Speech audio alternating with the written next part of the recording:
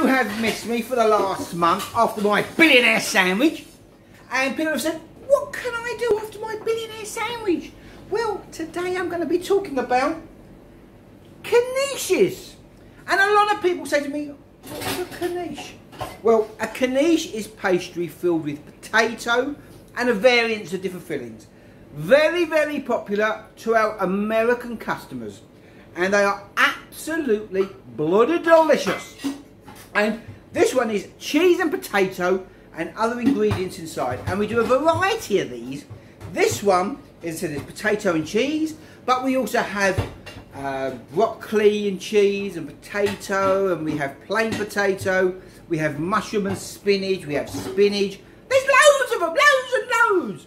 And Nat is busy now, as you can see, she's cooking in the background. Nat, say hello. Hello. And if anybody wants to try knish, they are 65 baht for the mush for the cheese and potato, and they are fantastic, really, really good.